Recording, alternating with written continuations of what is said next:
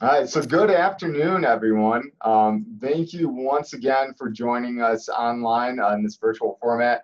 I know screens are always uh, less preferred than the in-person presentations, um, and for us as well, we, we really would love to see all your faces again and hope to be able to do that soon, hope to be hosting you in person soon.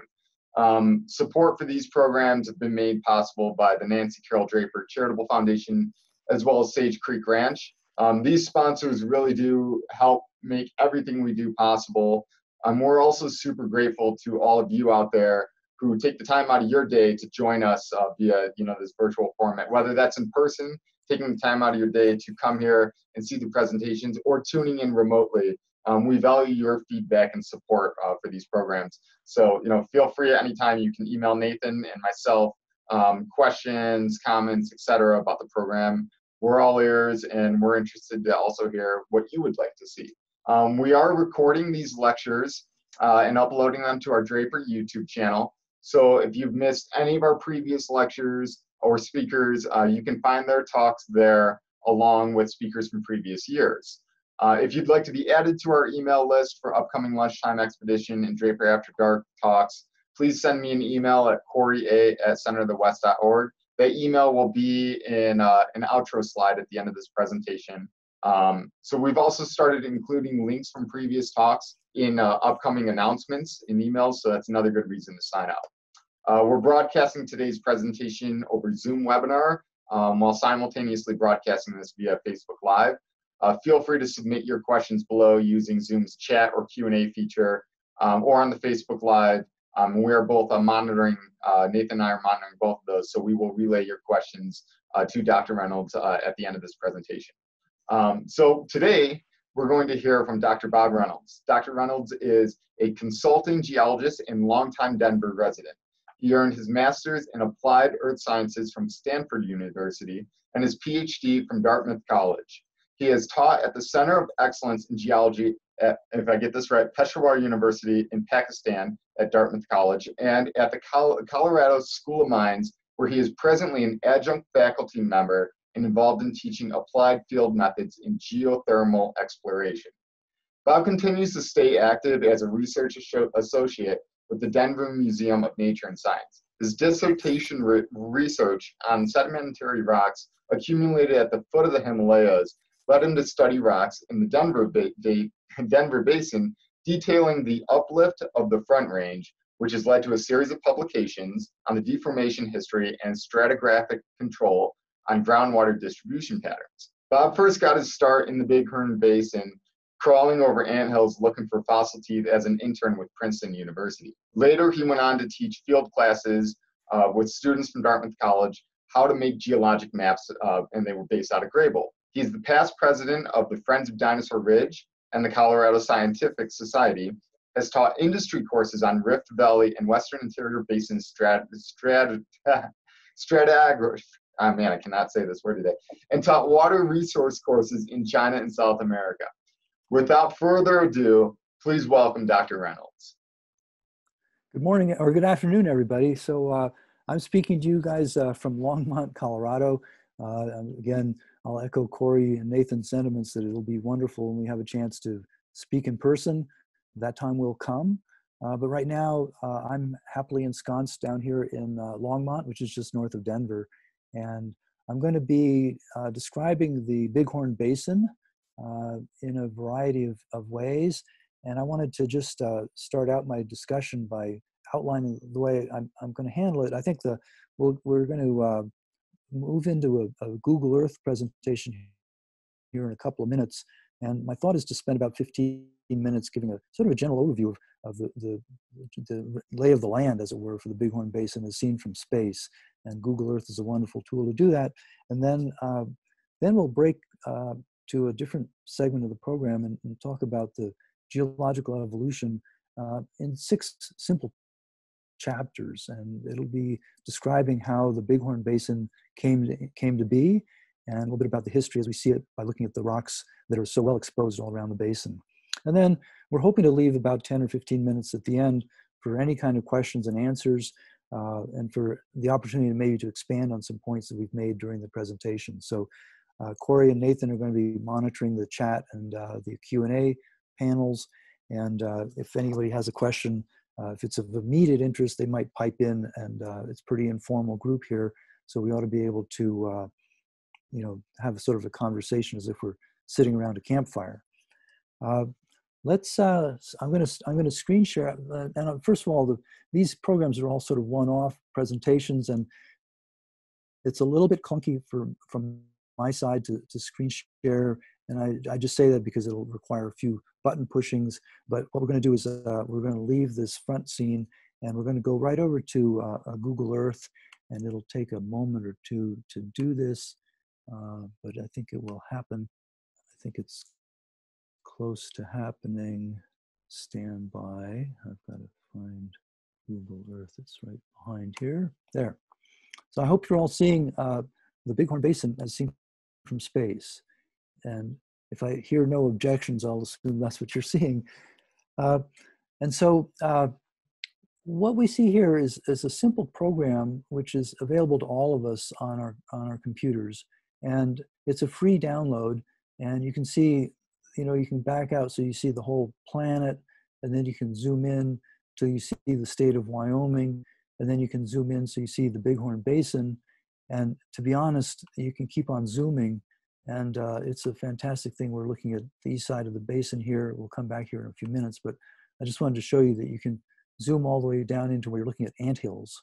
Uh, so, so you've got from anthills out to uh, the basin, out to the state of Wyoming and, and beyond. So a fantastic tool and relatively easy to use. And if you just pick it up, uh, download it and just poke the buttons, you'll figure out how it works. When we look at the Bighorn Basin, it's very well defined. Uh, you can see, and I, I, hope you can see my hand as sort of the cursor, but the Bighorn Basin is this uh, sort of oval-shaped feature here in north central Wyoming. It's bounded on the west side by the Yellowstone area and the Absaroka Mountains, the volcanic mountains, and then the Owl Creek's down at the south, and the Bighorn Range proper on the east, uh, the Pryor Mountains up to the north. And it really defines an oval area that we call a basin, and the geologists use the word basin to refer to a, a coherent uh, set of rocks that are typically bounded by uh, logical barriers of one kind or another. So just as an example, we've got the Bighorn Basin. This would be the Wind River Basin down here, and the Powder River Basin would be over here to the east. So the term Bighorn Basin refers to this region here. And from space, you can quickly see uh, the first order differences in the colors. The the greens and, and darker colors represent areas where there's vegetation. Uh, the clear, the brighter colors, the grays and, and almost orangey colors uh, represent relatively arid ground, sagebrush, and uh, relatively barren rock. Now, as we look at this basin, uh, I'm going to tilt it a teensy bit. You can do that by pushing a couple of buttons. You figure it out. But if we're looking due north, the river that comes in is the Wind River from the south, manages to change its names right about here from Wind River to Bighorn River. But the main thing about the first order views of the basin is that the landscape is controlled by water and people live where the water is. the water is coming along the rivers. Uh, the land near the water, near the uh, river bottoms is fertile and irrigated and produces wonderful crops. The upland areas that are not irrigated are very different, dry and uh, quite austere, but wonderful places to look for geological features, including fossils. So we're just going to do a quick loop through the basin to get your get oriented. Uh, this is uh, the Wind River Canyon down here. As you come into the basin coming up from Shoshone towards Thermopolis, the red outcrops are the Triassic Chugwater Formation. You'll see them again and again. We'll talk about that maybe a little bit more.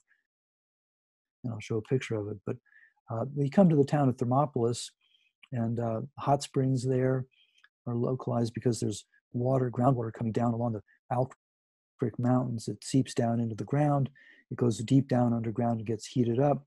And then there's a fault and a fold right here at Thermopolis uh, that localizes a place for the water to come back up again. So the pretty simple story there. The the water's heated up by the geothermal gradient, and it comes up at the surface in the hot springs. Then when you follow the streams to the north, and we'll just continue our, uh, we'll go up along the uh, eastern margin of the basin here. we come up near the town of Greybull, Wonderful feature here uh, called the Sheep Mountain Anticline. And you can see the Bighorn River cuts right through the middle of the sheep of the, of the Sheep Mountain. And uh, there's a railroad track and you can get right down in there and look at the features. It's held up by limestone. The uh, Bighorn Mountain, or the Bighorn Dolomite and the Madison limestone uh, hold up the axis of the uh, Sheep Mountain anticline. And it's got wonderful uh, sedimentary rocks draped around it. And this, this is an area here where uh, Dartmouth College uh, has run field schools for many years under the leadership of Gary Johnson. as we back out a teeny bit, coming around the loop, we're coming up, you've got the Bighorn Mountains on the right and the Pryor Gap here where the Bighorn River flows out of the basin heading up into Montana. So the Pryor Mountains there.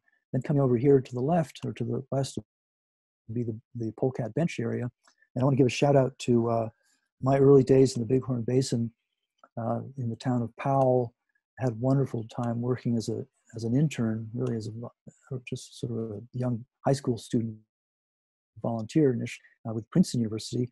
Uh, a fellow named Glenn Jepsen, professor from Princeton University, uh, had been working the, in the uh, Bighorn Basin for many, many years. And uh, we were hosted by the Churchill family.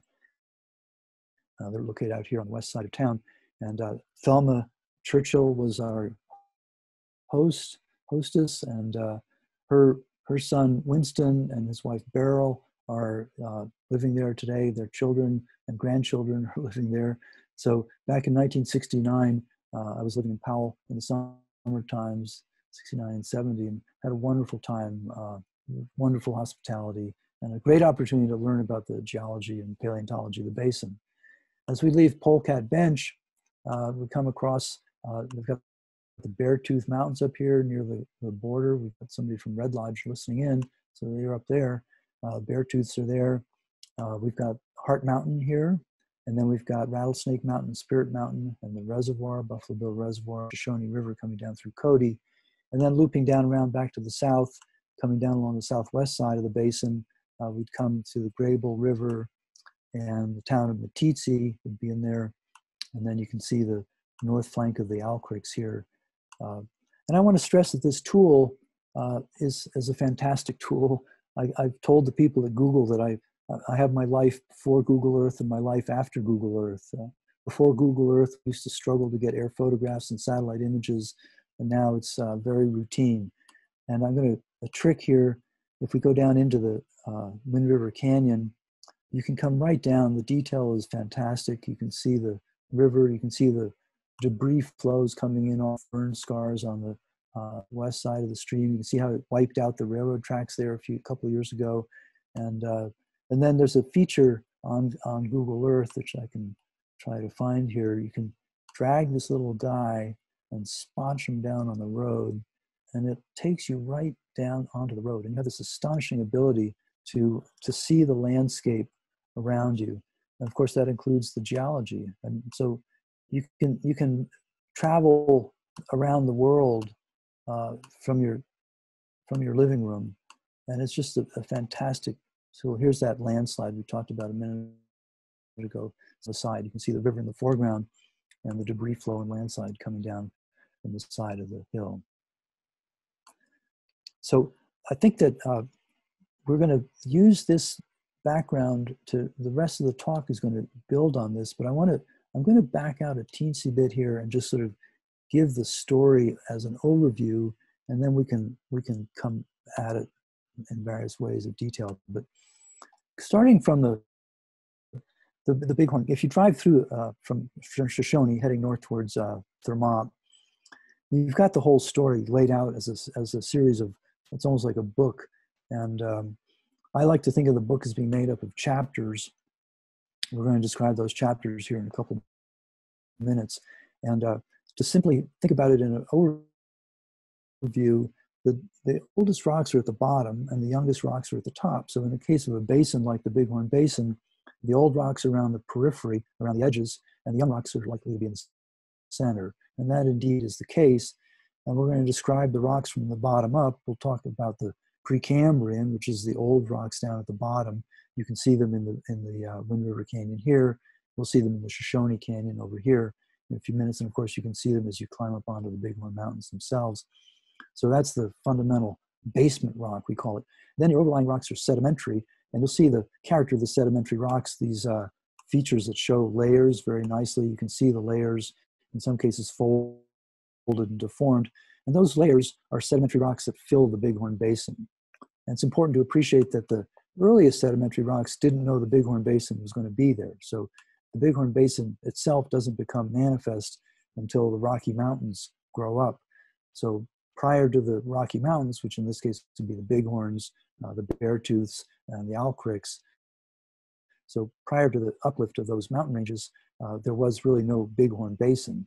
The, the geography was still there, but it was part of a much larger landscape uh, that we'll talk about in a couple of minutes. So the Bighorn Basin, geologically speaking, is relatively young, and then the sediments that fill it range in age from, from uh, very old, 500 plus million years old at the edges, all the way up to zero in terms of the rivers that are flowing today carrying modern gravels. So in a sense, you've got a concentric system, the oldest at the edges and the youngest in the middle. And we're going to use that template as we go forward and describe the rocks in a little bit more detail. So let me, uh, I'm going to stop sharing screen here just for a minute. So I think now I think you guys can see me. And I want to give a couple of more uh, shout outs to uh, uh, some of the resources that you have. Um, one of them is a beautiful book that was put together. I'm going to just wave it here so you can see it, uh, called Ancient Wyoming. I hope you can. I hope it's the symmetry is right so that you can read it from left to right. But in any case, uh, this is a, a, wonderful book, and it's filled with beautiful uh, paintings. And the book was put together by my friends Kirk Johnson and Will Clyde, and the paintings were done by my friend uh, Jan Vriesen. So it's got a whole abundance of uh, wonderful paintings showing ancient landscapes, including short-faced bears and features and critters that used to live in the Bighorn Basin. So I highly encourage you to get it. I'm sure you can find it in the gift shop at the Draper, uh, at the Buffalo Bill Center. Uh, the other thing that's very important is a, a, website, and I'm going to shout out now to something called geowyo.com, and that's that's just G E O W Y O.com. It's a website put together by uh, Mark Fisher and his colleagues uh, in Houston, uh, Ken and Debbie Steele. And uh, Mark is a Cody resident. He's a neighbor of many of yours. And uh, he and his colleagues um, worked for Marathon. And they've retired from Marathon and various other companies and have put together this wonderful website, geowyo.com and it's full of resources. They've taken a lot of the images from the publications that have been produced over the years, and they've taken uh, satellite views and compiled it into a wonderful resource that I encourage you to use. It's a statewide resource, uh, but it has a lot of uh, information about the Bighorn Basin. So two resources there, the book, Ancient Wyoming, encourage you to get that, and then GeoWyo, I certainly encourage you to uh, hit that on the web. It's a, it's a wonderful resource. In addition, while we're talking about Cody neighbors, uh, Gretchen is there with you folks from uh, the BLM office in, in uh, Cody. And Gretchen's been a wonderful help to, to myself, providing me with resources on the geology of the Bighorn Basin. And I'm sure she's a, a resource to everybody uh, in the community. So uh, now what I'd like to do is, uh, again, switch. I'm going to share my screen. And again, bear with me as this happens. It's a couple of clicks and I'm going to be putting the PowerPoint on the screen, a few more clicks. And uh, I hope now you're seeing uh, a tribute to Nancy Carroll Draper. And uh, Nancy Carroll Draper uh, is, was a wonderful uh, resource to the people of Wyoming and the people of the Bighorn Basin. And she provided a tremendous sum of money to help establish the Draper Museum of Natural History uh, as part of the Buffalo Bill Center. And so my hat is off to Nancy Carroll and her family. Her, her, she's a charitable foundation that's still operating, and uh, she was a, a wonderful uh, and very uh, generous donor to the community. This sign is one of the signs that's set up uh, on the foot of Heart Mountain. a wonderful series of signs out there illustrating the, the geology and the environments associated with the, the trail that climbs up on the backside of Heart Mountain. So I encourage you to take a look at that sometime if you're out in the Heart Mountain area. But uh, again, thank you to Nancy, Carroll Draper, uh, and we're all here. So now what I'm going to do is uh, we're going to go through uh, this uh, six chapter story. And what I'd like to, to do here is, is take it a little bit slowly and think about the, the significance of these things. And, and uh, this, this little slide with the six lines on it uh, parallels a comment I made a few minutes ago, but basically we're going to start at the old and go up to the young. And the way I think about it is that the, the geology of the Bighorn Basin can be thought of as, as complicated. There's many different uh, layers of rock. Every rock has a name, and you'll find that the geologists are very eager to talk about the formations and the formation names and the boundaries between them. Uh, and that's all well and good, but it's a it's a specialized work by people that, that know those names. And to be fair, we're still struggling with it. A couple, many of the units actually are still uh, being studied today, and whether the boundaries hold up through time or not, we're still not sure. But suffice it to say that uh, um, as you look at all these different named rocks, you can uh, simplify the story, and, and that's what I'm going to do. I'm going to make it into six uh, chapters. I'm going to put the layers together into in the layers of a book into, into individual chapters, and we'll walk through them uh, in a sequence here from old to young. And, I'll, and I'm not going to repeat this slide again, so you can, uh, I'll, I'll, refer to these things as, as chapter one through six, just to give you the chapter numbers. But basically, the, the Precambrian rock is at the bottom. Then there's sedimentary rocks on top of that that represent the seas sort of coming and going from the west. And then there's a period of time where the seas really sat there in, uh, in the western interior of the United States. We call it the interior seaway. And then, the, then after that, the Rocky Mountains grow. So those mountains that I talked about, the, the bighorns, the Pryors, the Beartooths, and the um, Owl Creeks come up. The basin fills up with sediment, very interesting sediment we'll talk about in a few minutes.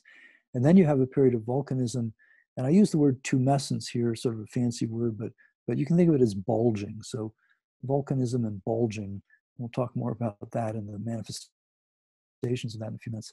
And then finally, uh, the region has been uplifted, lifted up into the air literally, and uh, the rivers have cut down in. So there's been incising of rivers uh, in, as the final stage. But let's start in the beginning. And uh, this is a picture up in the Sunlight Basin. Many of you will have been there. You'll be familiar with this bridge across the, the uh, stream there. And the, the bedrock is, is beautifully exposed as it is in many parts of the basin, but this is the Precambrian rock. And uh, many of you will have seen it up here in the Sunlight Basin. Here's another view that will be familiar to many of you. This is the view from the dam uh, in the Shoshone uh, Canyon up behind Cody. And you can see the, the rugged rock down here characterized by veins and dikes and, and uh, we call it crystalline rock. It's granite. Some of it's uh, been sheared and it might be called gneiss. It's largely comprised of things like quartz and feldspar, and uh, it's got some mines in it from time to time that people will find veins. There might be uh, quartz veins, for example, might have gold in the Precambrian. Uh, it's been tunneled into. I think you can see a little tunnel there, and there's a tunnel that takes the water out of the reservoir over towards Cody. And uh, these Precambrian crystalline rocks uh, are metamorphic rocks, and they underlie the whole Bighorn Basin. Now, it's important to appreciate that these uh, metamorphic rocks are overlain by sedimentary rocks, which you can actually see on the skyline there up ahead as we look out towards Cody from the uh, Buffalo Bill Reservoir. And I think the next picture shows that second layer a little bit better. And this is a view from the bottom of uh, the Wind River Canyon, the, the river's flowing um, towards uh, the, the Bighorn Basin.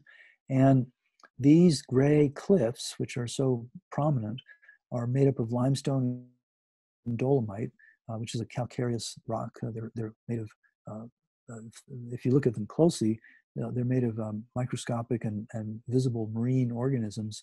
And these are rocks that were deposited on the floor of a shallow sea or a series of shallow seas that represent the uh, uh, oceans that were present on the western side of North America and, and our chapter two, which is, I call it the seas coming and going, but it represents this entire stack of rock that you see here on the skyline. And uh, this uh, pile of rock is, is, is, is thousands of feet thick, and it represents a whole stack of ancient uh, coastlines and shallow water environments. If you think about it, the uh, Wyoming area and surrounding states were um, part of a large, uh, we call it the North American Craton, but it's the North American Shield, and the ocean was to the west as it is today. So it was really the ancestral Pacific that we're talking about. And this was a, a vast ocean, but the waters lapped up, up and lapped off of the American Shield or the North American Shield. And Wyoming has this fantastic record of uh, the seas coming in and, and going out. And you can see that here in the, in the uh, Wind River Canyon. You can see it in the Shoshone Canyon. Uh, this is the view actually just uh, near the rodeo grounds in Cody. Many of you will have seen this view. You peer over into the river. You'll see the inclined sedimentary rocks. Uh, this, again, in this case, this is the red beds we call the Chugwater Formation. Again, every rock has a name. And uh, these rocks are, are inclined, as are most of the older rocks in the uh, Bighorn Basin. Uh, and the reason they're inclined is because during the time of the uplift of the Rocky Mountains, uh, they were uh, deformed. So you'll see that the older rocks are commonly tilted. And there's a beautiful place here uh, in Cody where you can see the younger rocks are relatively flat lying. And we call this an angular unconformity. So that's an unconformity between two different packages of rock. And because there's an angular relation, uh, we call that an angular unconformity. So continuing our tour, the next pile of rocks, uh, I grabbed this off the internet courtesy of the University of Maryland, but many of you will have seen views like this in the uh, basin. These are the black or dark shales uh, that are associated with the Cretaceous interior seaway, our third chapter. So the first chapter is the basement, the second chapter is the seas come in and go out, all that stack of layered sedimentary rocks, which includes the, the big limestones and the chugwater. And then they're overlain by these big piles, there's thousands of feet of dark shale with some sandstones in it and also some bentonite deposits. And these are the uh, rocks that accumulate on the floor of what we call the Cretaceous interior seaway. And uh, it's Cretaceous in age, which is the younger of the age of dinosaurs. And we know the age because it's uh, we can date the bentonites. The bentonites are actually volcanic ash deposits, and we can date them uh, using radiometric dating techniques similar to carbon 14, but using different uh, parent and daughter isotopic uh, signal or measurements. And uh, basically, we can date those uh, layers of volcanic ash, and then we can use those to uh, date the adjacent, the adjacent fossils. These seemingly monotonous uh, shale beds have occasional concretions, and uh, there's actually wonderful fossils to be found, often ammonites and sometimes marine critters that swam around eating the ammonites. So there's a there's quite a story about the uh, evolution of the of the uh, critters that lived in this interior seaway. And of course, this is a view in the Bighorn Basin, but I could get a similar view in the Denver Basin where I live. Uh, we've got similar views out in Utah. And if those of you, as you drive around the western United States, you'll see the deposits of the interior seaway uh, well exposed in many different places. And this is a very typical scene. It's uh, pretty inhospitable for vegetation. Uh, it's a troubling feature for the uh, engineers because the uh, bentonites tend to shrink and swell according to moisture content. And so there's been a lot of uh, uh engineering struggles to try to build infrastructure across the uh, interior seaway shales. Now, for our, our story, uh, chapter three being the interior seaway, um, it, there's a fundamental break and a dramatic change at the end of the interior seaway, and that's the, the growth of the Rocky Mountains. And in our view here, uh, this is a, view of the uh, McCullough Peaks, uh, courtesy of Wyoming Wildlife. And uh, many of you in the Cody area will have hiked up into these hills or been able to see them uh, out your uh, windows. And these colorful rocks are quite a contrast to the underlying drab rocks from the interior seaway. These rocks, it's called, every rock has a name, these are called the Willwood Formation.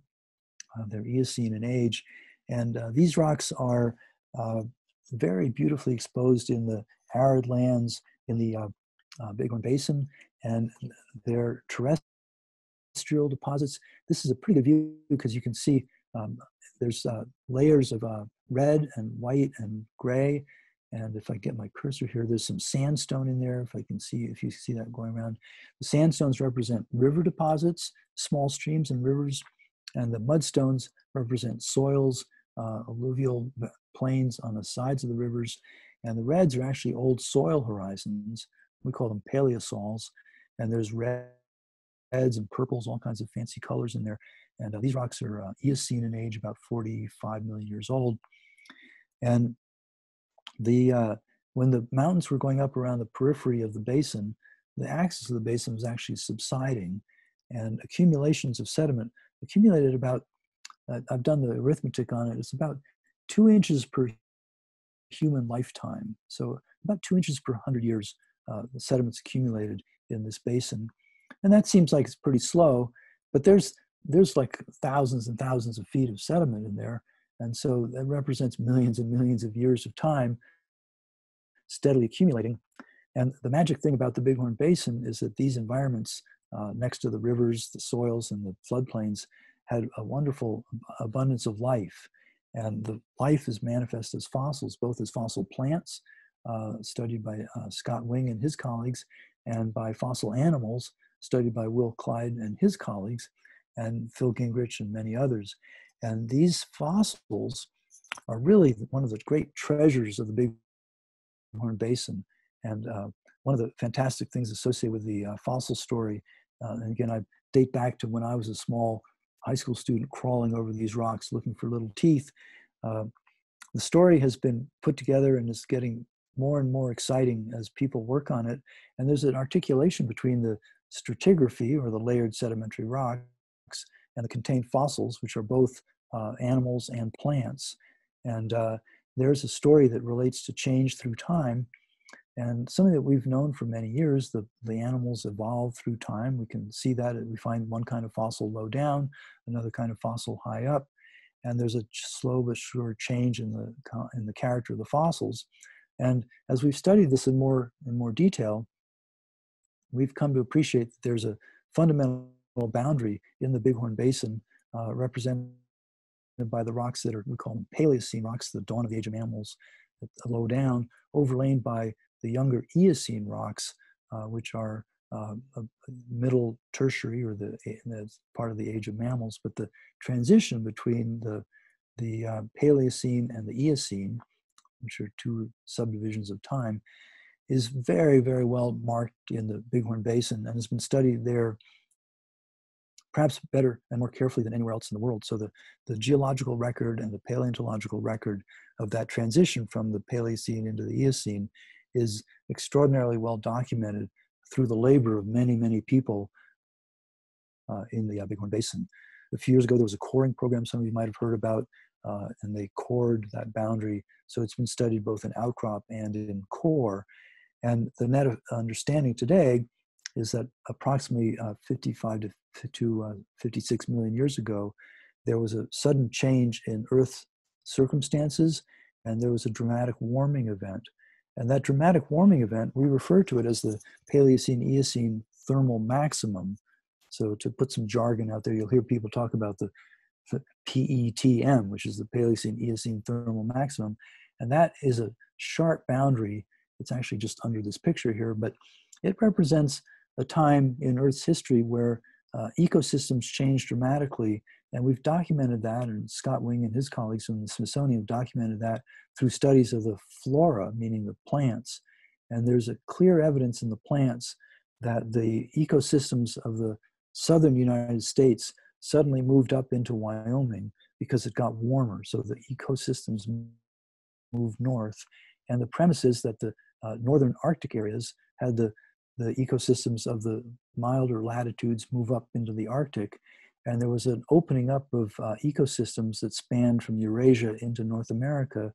And a whole series of animals migrated into North America simply following their stomach. They, were, they could eat their way across in the Arctic environments because the landscapes became very uh, moderate and lush.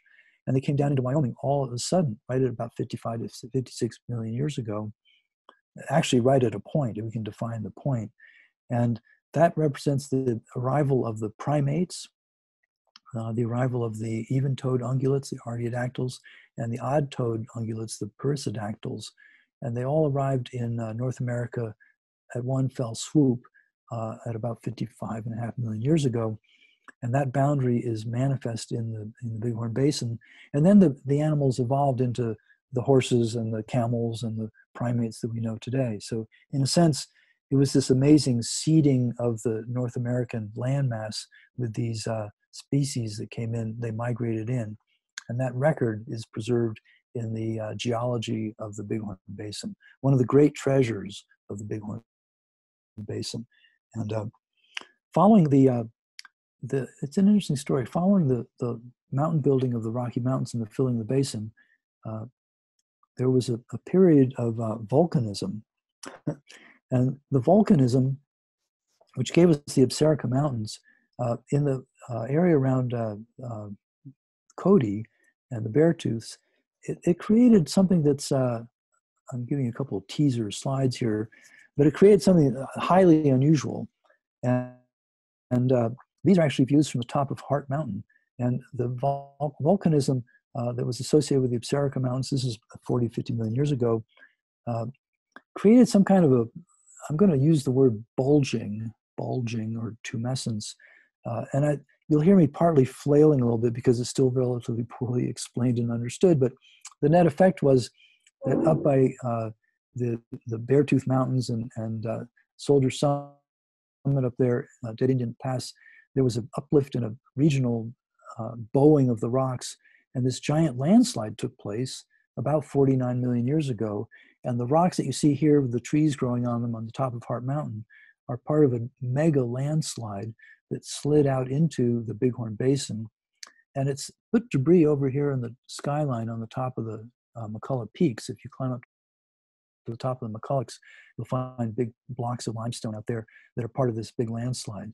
So one of the most extraordinary features in the Bighorn Basin uh, is this giant landslide, a tremendous puzzle to early geologists because it was so confusing to have the ancient rocks. These are uh, Paleozoic limestones on top of Eocene uh, mudstones. So the, the question, the whole thing was upside down from the point of view of the age of the rocks, and it created a lot of confusion until it was realized that it was some kind of a landslide.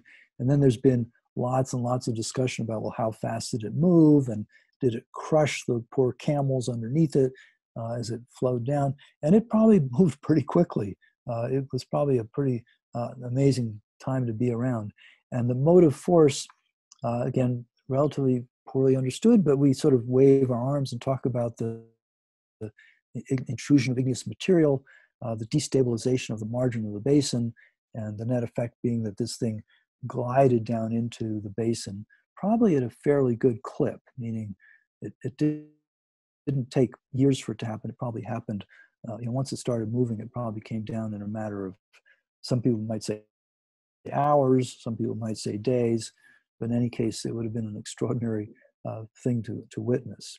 Uh, but following the, the, uh, the, the, volcanism and, and sort of the, the end of the uh, mountain building episode, the region was planed off. And this is the, the view uh, there's a little anteater for scale there, but this is a flat surface on top of the Beartooth Plateau that my sister is pointing to there.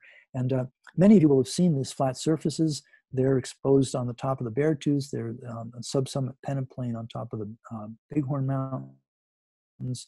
Uh, we have them here in the front, front range of the Rocky Mountains. And this actually extends out to the far east and lines up with the Ogallala aquifer out on the high plains. There's a huge period of stability uh, after the uh, Rocky Mountain buildup period, and uh, was a time when the whole system was planed off and stabilized, and it represents um, a very uh, regional uh, flat surface that can be traced over very great distances. But in our chapter story, what I want to point out is that this flat surface has been uplifted uh, over this entire region, and I'm spanning from Montana down to to Texas, that region has been uplifted through reasons that aren't terribly well understood.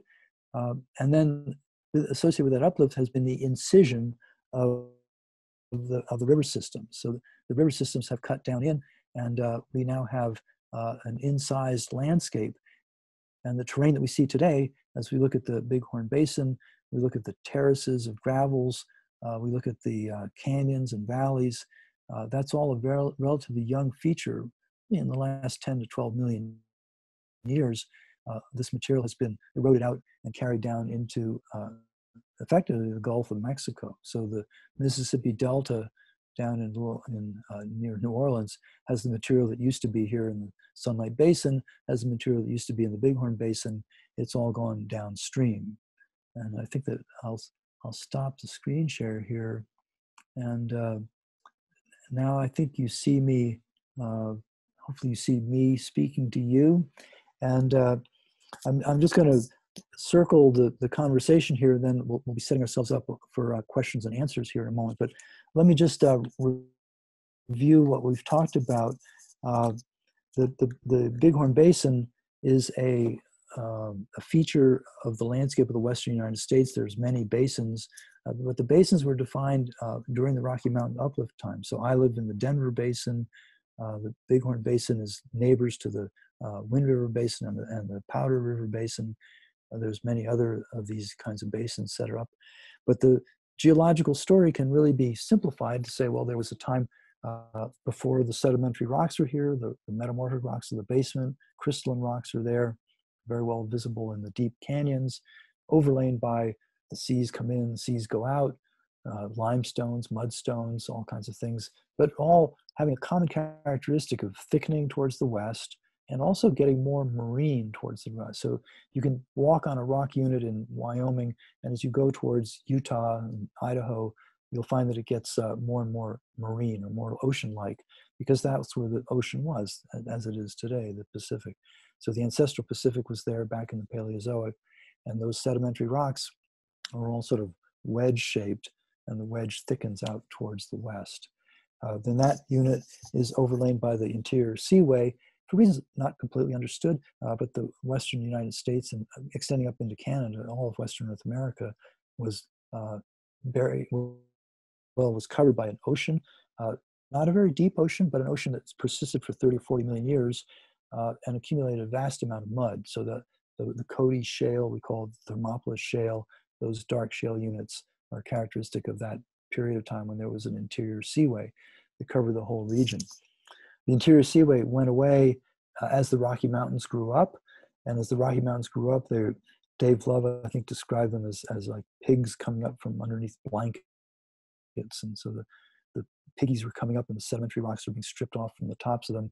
And that, of course, reveals the beautiful uh, deformed sedimentary rocks around the periphery of the, uh, of the Bighorn Basin and the surrounding basins. And important to appreciate that as the mountains were going up, the basin was sagging, and that gave us the opportunity to accumulate the thick accumulations of Paleocene and Eocene rocks that have the fossils in them. So that's a critical point there. And then following that, uh, after the, we call it the Laramide mountain building episode, but after the Laramide mountain building episode, as it was waning and towards its end, uh, this period of igneous activity took place, forming the Absaroka Mountains, uh, the rock units that you see down towards uh, Dubois and uh, between your between the Bighorn Basin and the uh, Tetons, for example. And during that time frame, the intrusion of something or the the destabilization of something created the Heart Mountain uh, landslide, which is so prominent, of course, in the Cody area. And then following all of that, the entire region is uplifted, including where I am here in Colorado, and the rivers all headward, headward in size and erode and you get this tremendous uh, ex- exhumation of the landscape. It's unburied, and you get the revelation of the uh, geological features associated with that. And so, in the Cody area, uh, you can see that it was somewhat episodic, and you'll recognize if you drive around the town of Cody, you'll see different levels of terraces. If you look closely at the terraces, you'll see that there's gravels in them that are coming out of the Shoshone River, and uh, those terraces go out down towards uh, the the Montana border. And Polecat Bench, which is up behind um, Powell, north of Powell, is the old floor of the Shoshone River. So the river used to be flowing up on the Polecat Bench.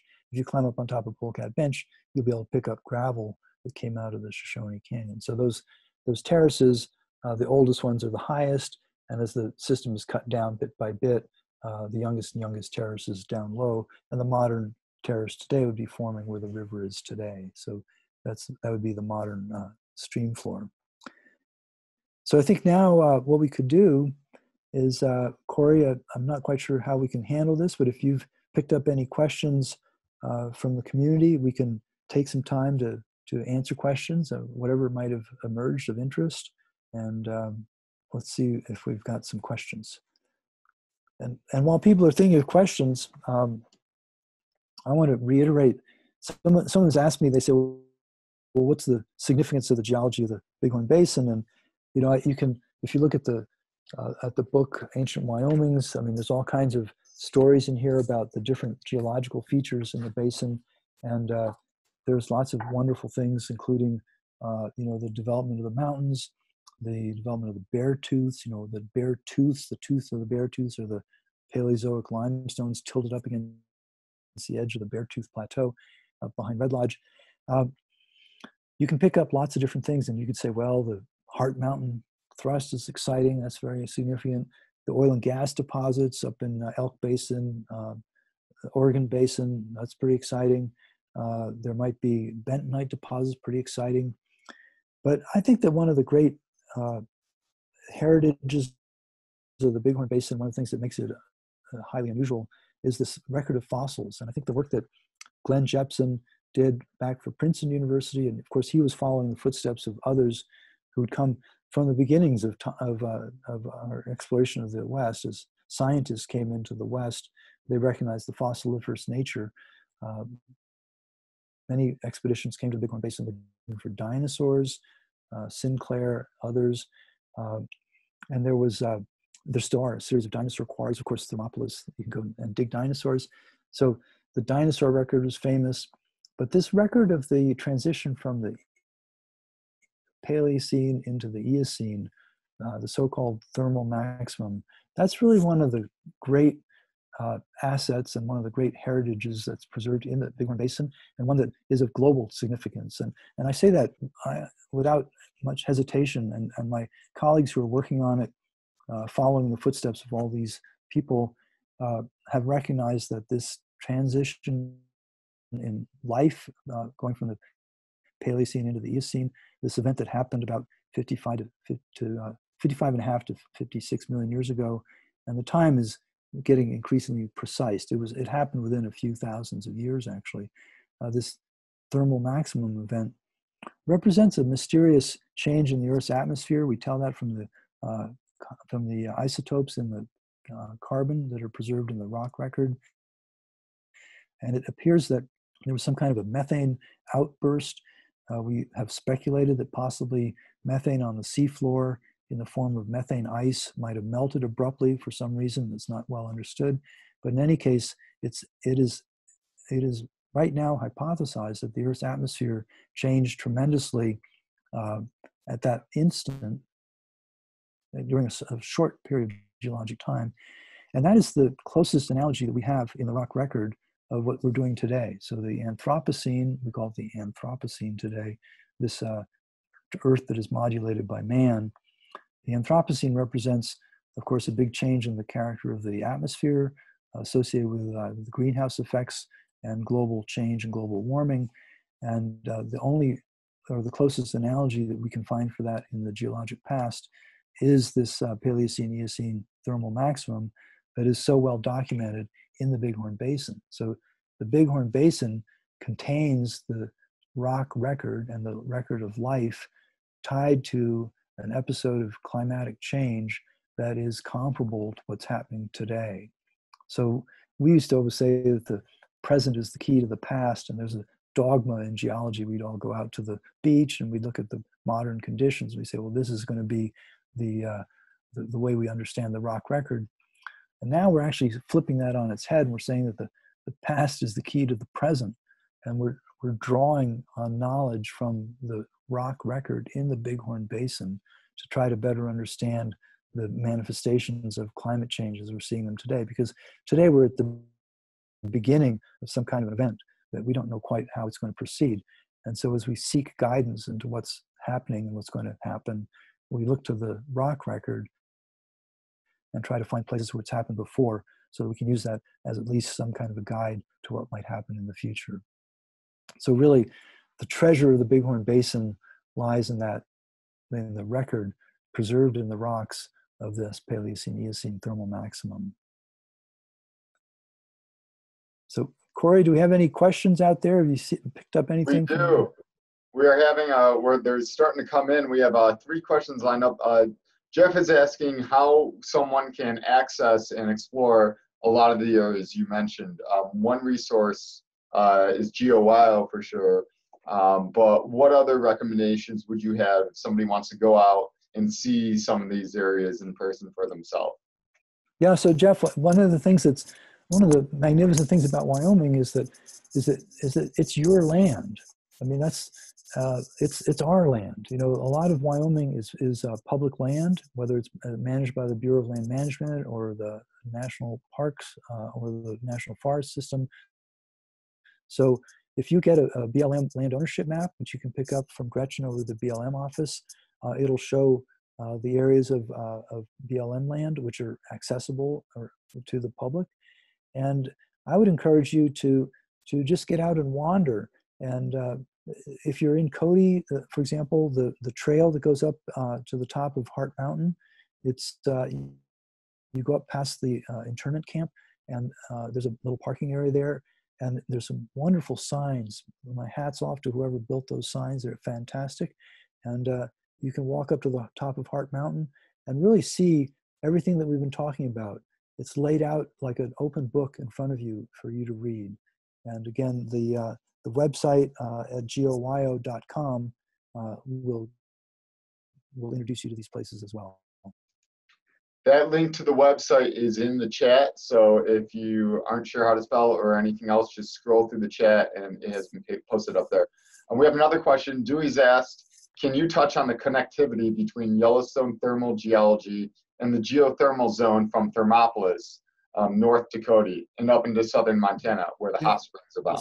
yeah. So so so uh, you know, humans have been interested in hot springs forever because it's so so nice to go and and wallow in them. So I hope you've all had a chance to wallow in them down at Thermop, and if, uh, up in uh, Yellowstone, you better be careful if you wallow because it's a little bit too hot in many places. But they're really very different. The uh, the phenomenon at Yellowstone is is the result of active uh, igneous activity or volcanic activity at depth, and we believe there's a magma chamber uh, underneath Yellowstone. In fact, we don't believe it. We've measured it, and uh, lots of people have looked at uh, the the character of the hot springs in the Yellowstone area, and they're tied directly to the thermal uh, emissions from below from this magma chamber. And some of them are, of course, hotter than others, uh, but there's faults, fractures, and fissures in the rainwater is circulating down into the rock that's heated up by volcanic activity and coming up as geysers and as hot springs and mud pots.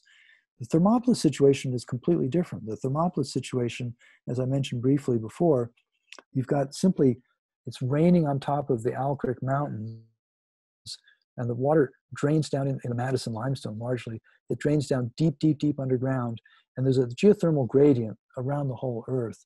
As you go down deep, it gets warmer because of radioactive decay, actually, largely. And so you've got this uh, heating as the water goes down, it gets warmer and warmer, and then in the case of Thermopolis, that warm water hits a series of fractures and faults, and it actually is coming up along faults that we pretty well understand that go down into the uh, in, into the Madison limestone underneath the town of Thermopolis, and the hot water is lighter than the cooler waters, and so it tends to rise, and it's rising up as a series of hot springs. We have a similar kind of effect in the Wind River Basin, uh, on the Wind River Indian Reservation, there's the Washakie Hot Springs, very much the same situation. The, the hot water coming up from fractures and faults uh, off the flank of the, in that case, the Wind River Mountains. So two different kinds of phenomenon uh, producing warm water. Mary from Cody has a question. Um, looking at, uh, she was up on Heart Mountain recently and saw uh, some ridges running north and south um, and that they were upended and nearly vertical, uh, rising out of what looks to be at least some limestone, and wondering if that was part of the Rocky Mountain building or the Laramide orogeny. Um, do these sharp angles, do they precede or follow the arrival of the Heart Mountain flying?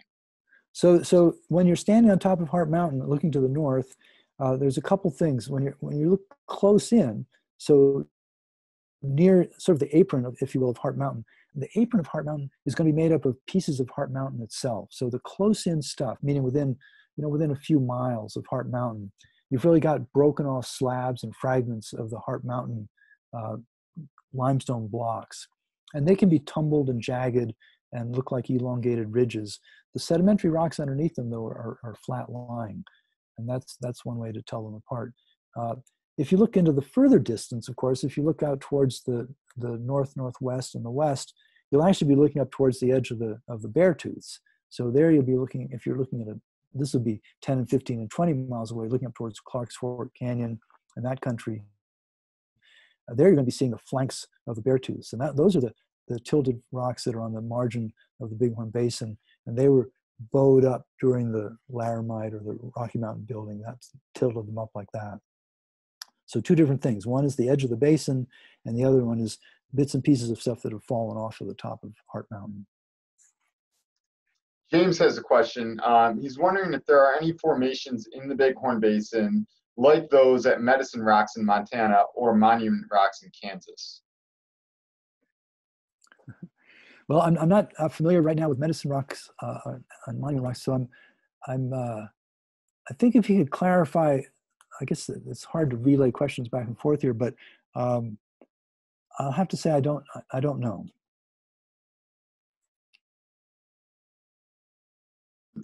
Also, a, a contribution here from George. Uh, he mentions that the book Ancient Wyoming that is available in the center bookstore, um, and you can also get it online. It does contain a map indicating the location of the Bighorn Basin of where to go and what to do. So another resource for folks. Um, Bob, I have a right. question for you. Uh, you got your start as a fossil collector in the Anthills. Was there a particular uh, light bulb moment or experience during this time? You mentioned you were an intern uh, with Princeton. Um, so was there a particular experience or moment from the time that really just turned you on to pursuing a career in geology? Well, I, have had a lot of people sort of ask that question, and, and uh, I'll give you the analog from my my uh, geophysics friends and students over at the School of Mines, they they get asked the same question, and, and they say, "Well, why are you a geophysicist? And what's nice about being a geophysicist?" And uh, the students have thought about that a lot, and, and they say, "Well, they say they like physics and they like being outside, and geophysics is, is physics outside. So in my case, you know, I like science and I like being outside. So geology uh, is a, is a way to do science outside. And then I'll tell you also, honestly, I like to travel.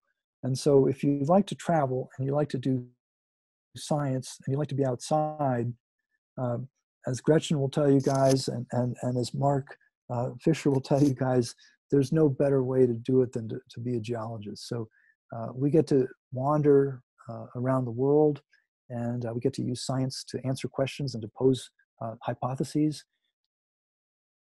And, and I'll say again, I really, I really want to make sure that, that the people who live in the Bighorn Basin, live in Cody, you know, really appreciate the importance and the significance of the, the rock record that is right there in, in your front yards. And uh, the things that we've learned from that rock record are, are astonishing. I mean, if, if when I was a small student, this I was when I was a high school student uh, as a you know working as a as an intern. We didn't have that word intern. I, I think I was a, a, a, summer grunt whose whose eyes were close to the ground or something could find fossils. But but we were, uh, you know, we did we didn't know hardly anything. We we I mean we, we knew we were collecting Paleocene mammal fossils, and it was very interesting to try to identify them. But if what what we know today is orders of magnitude. If I if I I was teasing Corey the other day I said, if, if I could go back to 1969 with some of the sketches that I have today and show them to this venerable Glenn Jepsen, who was a venerable gentleman who, you know, he dressed, you know, very nicely in the field. He wore a suit and tie. If I could show him my diagrams from today, it, would just astonish him. And in the scheme of things, that's only what 50 years ago. So we've learned so much, and we're learning so much more. And I really think that it's a tribute to, uh, to of course, the scientists, but also to the museums that host them. And uh, you know, I'm a research associate at the Denver Museum of Nature and Science, and I think the collaboration between museums, so the collaboration between the Denver Museum and the, the Draper Museum, uh, these are the sort of the, the avenues through which this uh, knowledge is, is, is shared and is pushed forward. And so uh, at the Denver Museum, we've got many volunteers that do a lot of the work. There's uh, 1,600 volunteers at the Denver Museum. Same thing at the Draper Museum. You guys are starting to have a volunteer program, so citizen scientists can get involved in this. And I think that it's something that we should recognize that these questions about change through time, evolution of animals, evolution of landscapes through time, those are things that are of interest to all of us. You know, everybody wants to know, you know, where did we come from? Where are we going? Uh, you know, what is the meaning of this rock? And and I think that the the point that I'd like to maybe uh, end with here is that the, the geological framework is is knowable. The, the the books the book of rocks can be read. We can turn the pages one at a time and understand what they mean, what they signify. And the story they tell is wonderful. The story they tell is astonishing. And the story they tell has more and more details. The closer you look, the more you see. And so I think that we've got this opportunity to to read the book more carefully and, and to share it with each other. And I'd like to think that this presentation is, is part of that effort. And I'm, I'm really very grateful to uh, the Draper for having given me the chance to, to join you guys and to, and to have this chat. And I look forward to, uh, to many more. Yeah, if you have time for a couple more questions, there are two more here. Sure. Um, another one is uh, so the northwest uh, corner of Wyoming is one of the best places on earth uh, to study the history of Earth. Um, so one of the questions is, what is the influence of glaciation in this region? Um, kind of like expanding this a little further, um, what impact has climate change had on the Bighorn Basin? Okay, well, that's a good question to, to answer by observation. And if you if you were to drive up Clark's Fork Canyon, for example, just one place that you can go close, uh, when you get to the mouth of Clark's Fork Canyon, you you've got this debris field big boulders, uh, the size of rhinoceros. So these rhinoceros size boulders. And if you look at it on Google Earth or look at it from a hillside, you'll be able to see there's a big moraine or a big apron of debris at the mouth of Clark's Fork Canyon. And it was quickly, it was, it was understood relatively early on that Clark's Fork Canyon had been the, the scene of a glacier uh, back in the Pleistocene. And in fact, that's figured in the book uh, Ancient Wyoming. There's a painting done by Jan Vriesen showing uh, this glacier coming out of Clark's Fork Canyon. And we've studied the glacial history of the West, and a lot of it was done in the Wind River Mountains. So the the, uh, uh, the, there's there's several of the Rocky Mountain glacial episodes named after canyons in the in the Wind River Mountains, but the records of of uh, mountain glaciers are difficult to work on because one glacier erases the debris of the preceding one. So if you can think about it, you're only going to see the most recent record. The earlier record will have been mashed out by the subsequent ice flow on top of it. So the people who were studying glaciation in the Rocky Mountains were frustrated by the fact that they had a very good record of the most recent uh, glacial episodes, which ended about 12,000 years ago. Uh, but then the one that was before that was about 130,000 years ago, harder to read, and before that, even harder to read and, and it went sort of dim. What we discovered was if we went to other places like the sea floor, interestingly enough, the sedimentary record on the seafloor shows the glacial episodes. The, the, temperature of the water changes, the biology of the ocean changes, and we can actually see the ice ages in the seafloor sediments. And it's shown us that there are on the order of 30 or 40 episodes of ice age uh, in the last 2.5 million years. So the Pleistocene ice ages started about two and a half million years ago in the northern hemisphere, and uh, there's about 40 of them, give or take a few, where the ice came and the ice went. So it's very clear to us that the climate has changed dramatically uh, in the ice ages, and it's certainly clear to us that it's been episodic. And we've studied the episodicity of it, and, and a Serbian mathematician who we all revere, a guy named Milankovitch, using pencil and paper before the time of computers, figured out that there was a there are patterns in the way in which the Earth orbits around the sun. It has a the, the overall orbital pattern, which is its elliptical orbit, changes a little bit through time, and the Earth tilt changes a little bit through time, and then there's a wobble. So there's three components that change the amount of solar energy that comes into, let's say, the northern hemisphere through time. And Milankovitch figured out that the ice ages were tied to subtle changes in the amount of solar energy coming into the northern hemisphere. So we understand the ice ages now fairly well, and uh, they do represent episodes of climate change that are very dramatic and show up in the rock record, and you can see them at, at uh, Clark's Fork Canyon. But this present climate change that we're talking about today with the change in the atmosphere, uh, because we put the fossil carbon into the atmosphere, we've changed the composition of the atmosphere. We've dramatically changed the amount of carbon dioxide and methane in the atmosphere today to the point where we're doing a geophysical experiment on the Earth, and we all live on the Earth. There's 7.3 or 7.4 billion people living on a planet on which we're conducting a geophysical experiment in which we're modifying the climate. So we don't know quite what that's going to do. We certainly don't know very much about potential feedback mechanisms as it gets warmer. You know, does more methane come out of melting tundra? Do the clathrate uh, methane uh, deposits on the seafloor melt and come into the atmosphere? We don't know. So there's a, you know, we're, we're facing a great unknown as we look at the climate change today, but it is informed by the climate changes of the past. So this is kind of a perfect segue into Mary's question. She was asking about these methane seeps and how uh, they tell us, you know, they're kind of foreshadowing these events of the future, uh, these historical methane seeps. So kind of putting you on the spot in terms of if you were king, if you were a czar, well, was the term she used.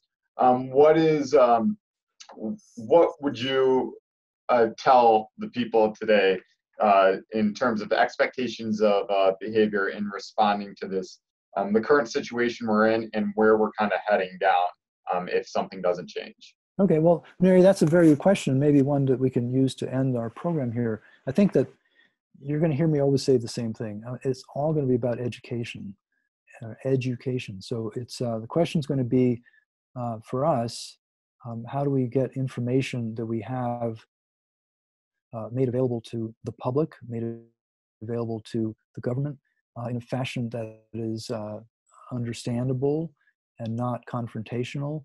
So, one of the great challenges that we have uh, in the United States today uh, and in the world as a whole is, is taking information that is understood by scientists and putting it into a format where it can be understood by policymakers such that, to the extent that's practical, uh, steps can be taken to, to mitigate or to prepare for changes that are coming.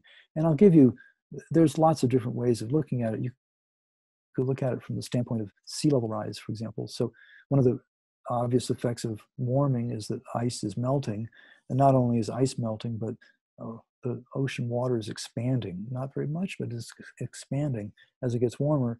And sea level is rising three millimeters a year.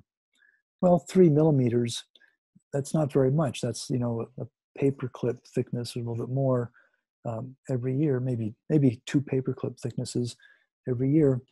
And you might say, well, that's not much to worry about. But I'm a geologist, and I I worry about that. That's a major deal. And uh, so, how do we get the public? How do we get policymakers just to realize that sea level is rising and that that's a threat to our coastal communities? Uh, you know, you might say, well, it's trivial. You just let them watch it, but but it's it's a pity if we have to just watch it because it's something that we understand as scientists and we could take steps to move people away from dangerous areas uh, so that that's sea level. Look at another situation is agriculture and what's going to happen to water water supplies. You know the bighorn basin your agriculture is entirely dependent on uh, irrigation. And without irrigation uh, it's tough to grow plants in in the Bighorn Basin. And in fact, the, in the North America, west of about 100, the 100th meridian, uh, the, the line of uh, longitude, about 100, uh, it's sort of Midwest. Once you get west of that line, you come into what had been called the Great American Desert. And if it keeps getting warmer, the, many of the computer models indicate that it's going to get drier. and here in Colorado, we have a lot of studies that have shown that the Colorado River flow is going to diminish through time. So then the question again is, well, how do we how do we make ourselves uh, sustainable in a time of diminishing water resources? And we don't have answers immediately, but we do have a lot of people working on it, and they're looking at using water more efficiently. They're looking at using different kinds of crops, different kinds of irrigation technologies.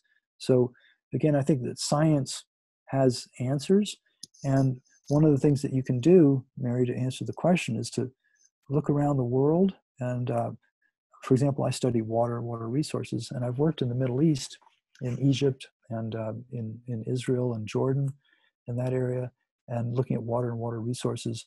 And you know they've got really severe water challenges over there, much more severe than we do here, and and they've got tremendous technology uh, coming in terms of drip systems, uh, building greenhouses, putting uh, water into uh, the roots of, of, plants, putting the fertilizer right into the water.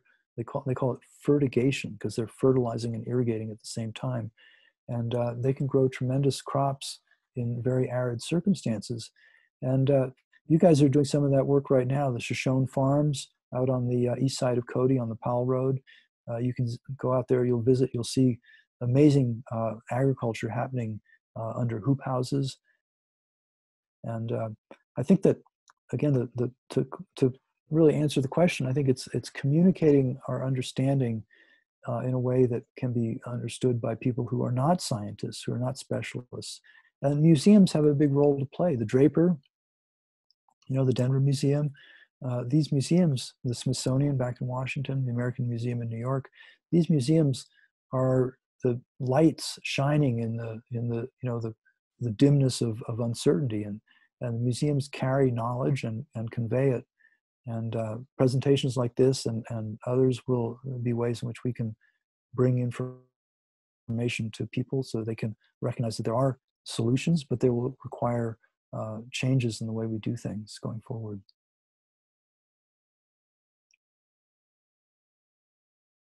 I mean, uh, they're unmuted. Bob, I want to thank you uh, for taking the time out of your incredibly busy schedule um, to visit with us uh, and share your wealth of knowledge and experience. Um, it's really been a pleasure speaking with you. Um, but also a big thank you to our sponsors uh, supporting the Lunchtime Expedition Speaker Series, as well as for all of you for joining us virtually and taking the time out of your day to visit with us.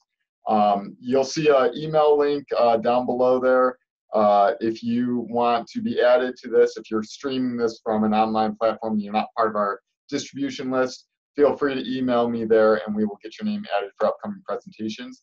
Um, this presentation has been recorded um, and will be uploaded to our YouTube channel. So if you came in a little late and you missed something in the beginning, um, or if you'd like to revisit anything that Dr. Raynolds discussed, uh, you'll be able to find it there. So thank you all for tuning in. Um, and Dr. Raynolds, best of luck in all of your current and future endeavors. It's been a pleasure uh, being with you today. Great. Great. Well, thank you, guys. Thank you, everybody, very much. Thank you for the opportunity. Thank you. Bye. Yeah. Bye. Well, I'll see you soon. Uh, everybody will be back on August 12th for our next uh, virtual presentation. So be on the lookout for an email for that. Take care and hope you have a wonderful day.